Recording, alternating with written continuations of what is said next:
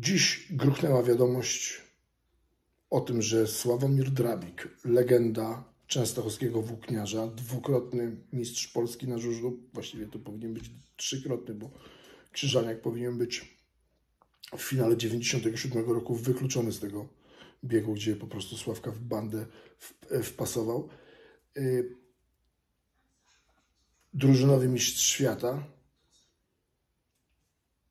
będzie w przyszłym roku szkolił młodzież Sparty Wrocław.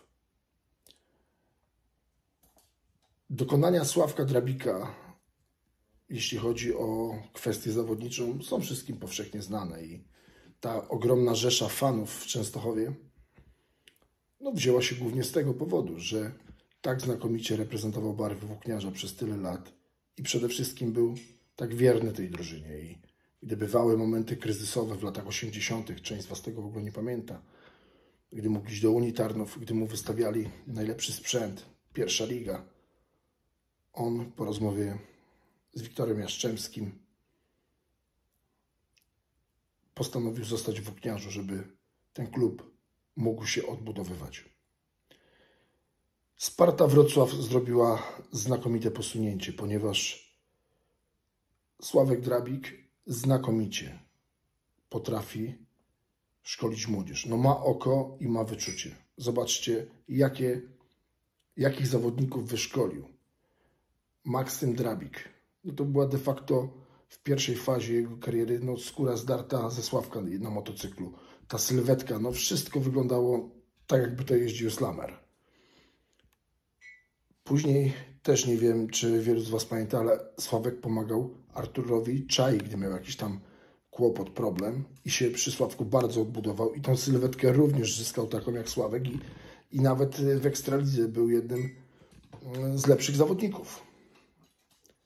No a ostatnimi czasy e, również Mateusz Świdnicki. No przecież jak patrzę na Mateusza, to, to taka aż się łezka wokół kręci, bo to tak jakbym oglądał sylwetkę jeżdżącego Sławka Drabika. E, ja mówię teraz o takich trzech nazwiskach, które w bardzo krótkim czasie doprowadził do e, światowych sukcesów, no bo przecież no bo przecież i Maksym, i mm, Świderek no, zostali mistrzami świata młodzieżowymi. Nie, przepraszam.